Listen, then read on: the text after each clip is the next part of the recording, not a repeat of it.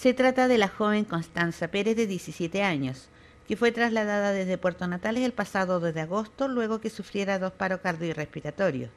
Este martes, luego de ser declarada con muerte cerebral, sus padres tomaron la decisión de donar sus órganos, cuyo procuramiento se llevó a cabo la madrugada de este miércoles. Expresó el doctor Humberto Hurtado que estos órganos fueron riñones, hígado y válvulas cardíacas.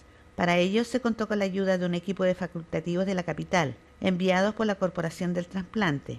El doctor Hurtado dijo que la familia de Constanza actuó en forma muy generosa, algo que no es muy frecuente ver, por ello agradecen que en medio de su dolor son capaces de llevar a cabo este acto de donación de órganos. Fue una eh, actitud muy generosa por parte de la familia, que no es frecuente de ver.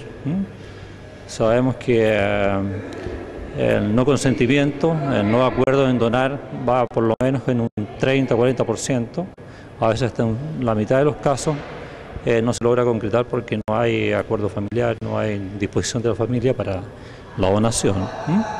Pero en este caso eh, reiteramos el agradecimiento a la familia, sabemos el dolor que ellos sufren, pero bueno, una forma de mitigarlo es a través de la, donación de los órganos.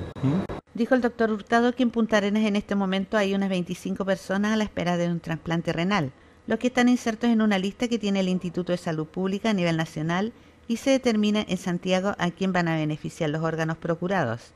Esto de acuerdo a un puntaje, edad o tiempo en diálisis. En este momento hay en Chile unos 15.000 pacientes en diálisis y de ellos están a la espera de un trasplante 1.200 personas.